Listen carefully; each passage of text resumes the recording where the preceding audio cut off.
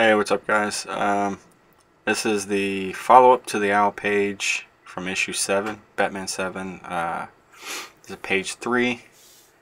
More branches. More OWL. More blacks. Cheap brush. I think I pretty much used this brush for the majority of the page. Um, it's kind of a... Uh, funny the the brush was just I think my girlfriend picked picked it up to do some Halloween makeup stuff. And uh, I swiped it and I liked it because it was a soft brush and I just um, started doing these branches with it and I, I kind of liked it the feel of it. I think a pack of them was like four bucks something crazy cheap and it didn't last long and they uh it started falling apart so I had to tape it. You can see the little green tape. I had to tape it to, back together actually. But I love that brush for this.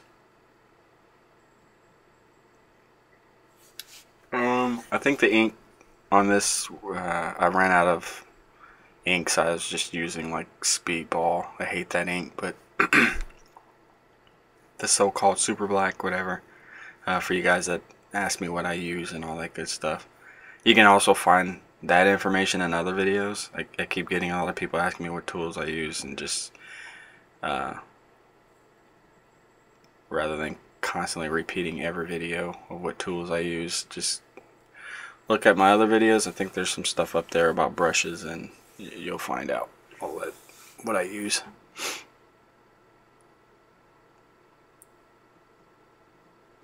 I like doing this uh, page because it was it just felt so abstract with the branches. It was like one of those where you're you know you're just on the phone and you're just kind of mindlessly working.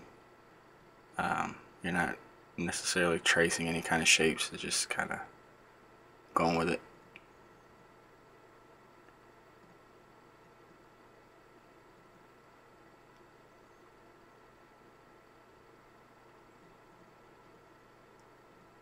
seemed like I was inking branches forever though. But this page did go pretty quick.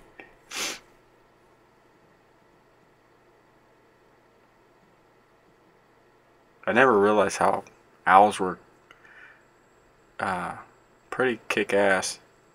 I always thought, you know, think of owl, you just think of like Woodsy the Owl, some kind of smart-ass bird or something. They're kind of uh, pretty cool actually. I think I like owls now because of Batman.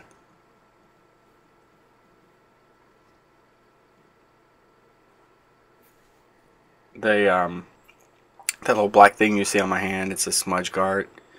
Um, typically you, you can you wear it with a when you use a Cintiq because that heat from the Cintiq keeps your hands kind of sweaty. But um, I can't ink without it. And I have fits if I can't find it. So that's what the little glove is. I must have disappeared right here and went somewhere and now I'm back.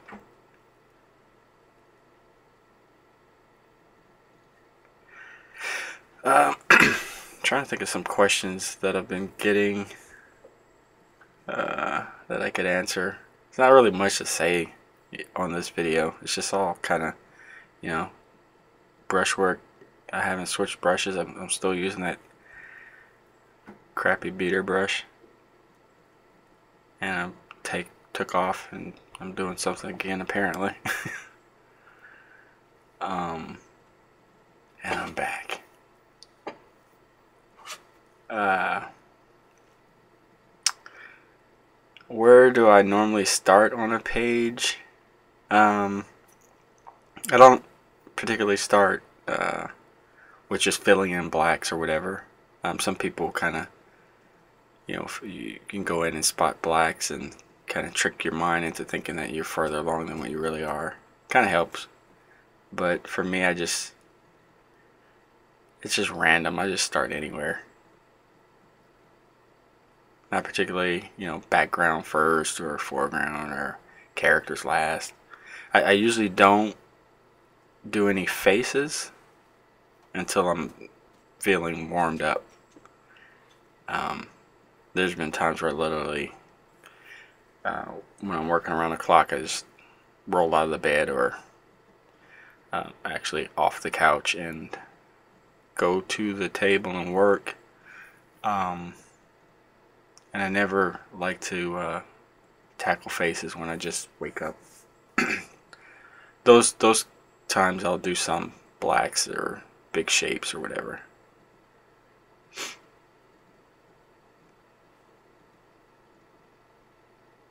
Anywhere you can start, really, where you can um, allow yourself to gain confidence as you work through the page helps, especially when you're starting out with inking. Um, a lot of people try to uh, just tackle everything, um, and really you should start out with the, the basic stuff, the simple things. You build up confidence. I like all these shapes in the in the owl. I don't. I mean, you understand what they are, the feathers and everything, but I like the shapes that you can create with the brush. So that stuff is, is all fun to ink.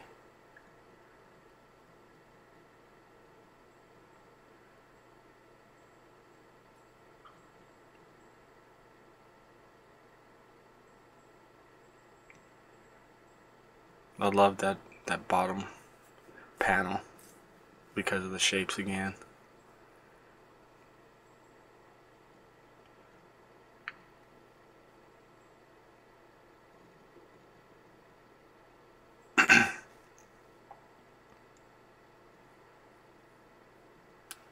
just freehanded those eyes, the circles on those eyes, because I'm sometimes lazy and I don't like templates or that, that shape isn't really uh, sort of a template shape. It's nice to be able to kind of get away from templates too. You can rely on if you can throw a straight line or you can, you know, uh, sort of create circles and things like that. Um, there is a way to piece those things together so it looks smooth. And that's that's one of the things that you should kind of learn as you as you're uh, learning how to ink. Not to be afraid to do those kind of things. anytime you don't have to pick up a template, it saves time. But if you have to, it's it's not it's not a sin.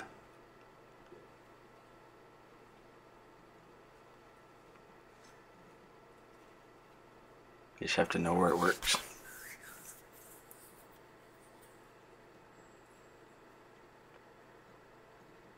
What are we issue. What just came out? Issue 8 I'm just now um, done the voiceover for this page on 7 it's pretty sad. But when you don't see videos you know I'm working so the next issue will come out because I'm not doing videos all the time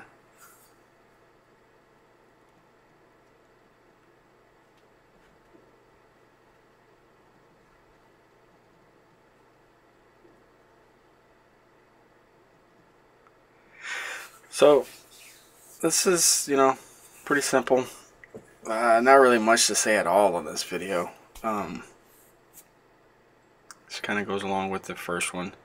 Um, the next one I'll post up will, will have some Batman action, so that, that one will be a little bit more fun. Hopefully I'll have something to say. If not, at least it's some Batman on the page.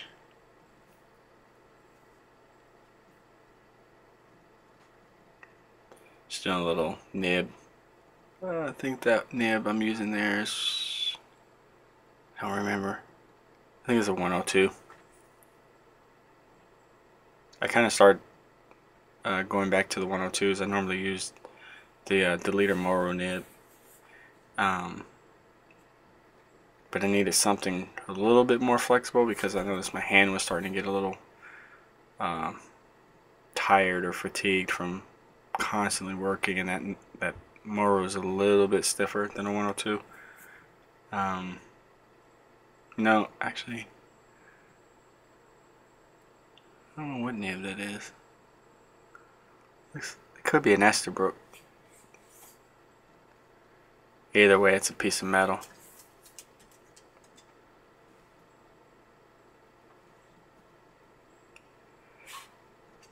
Uh, I think, think that's it. No, I gotta do the, I should have did that in Photoshop, but I was feeling energetic.